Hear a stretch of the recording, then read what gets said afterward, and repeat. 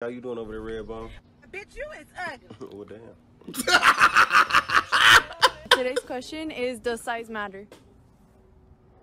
Yes. No. It's just been a, it's been a long fight. It's been a long fight, and I just had to. Have, No, size 100% matters. I mean, any girl that says it doesn't is is it's cap. If what you coming through with this, what you think she's gonna be gassed? Pull down your trousers. You got this. You think she's gonna be like, yes, yes. I love tiny penises. Oh, I'm to have sex with you. Ah, it's even in yet. Ah, I love this feeling of not feeling anything.